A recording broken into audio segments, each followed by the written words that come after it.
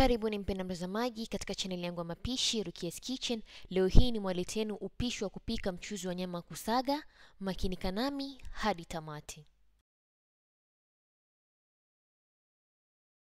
Katika sufuria utaweka kitunguu kimoja kilichokatwa na mafuta kiasi takribani vijiko viwili ama vitatu hivi, na kisha vikaange vitunguu mpaka viwe vyekundu.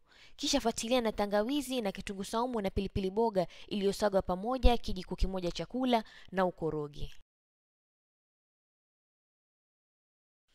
Kisha fuatilia na viazi viwili vilivyokatwa kama hivi vyangu na ukoroge kiasi, na kisha weka maji kikombe robo ili viazi viweze kuiva.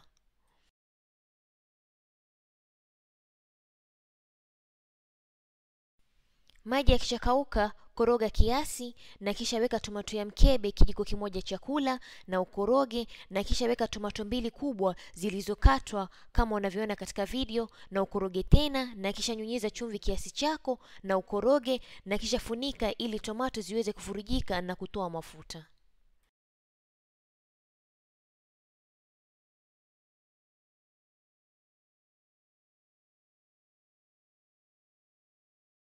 Tomato zako zikishavurujika kama hivi, koroga kiasi na kisha weka roiko na curry powder kijiko kidogo kimoja na uchanganye vizuri, na kisha kamulia na ndimu nusu na uendelee kukaanga mchuzi wako.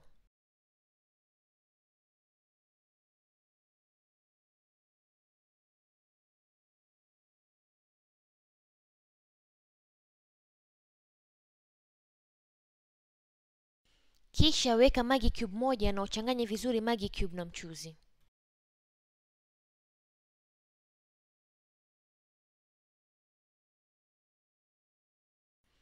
Kisha utaweka nyama yako ya kusaga nusu kilo na uchanganye nyama yako vizuri na uhakikishe mchuzi umeenea kote kwa nyama, na kisha funika ili nyama yako iweze kuiva haraka.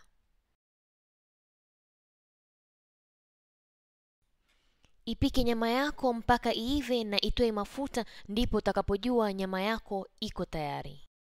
Na mchuzi wako wa nyama kusaga iko tayari. Unaweza kula kwa chapati, wali, maandazi ama spageti au kitu chochote upendacho.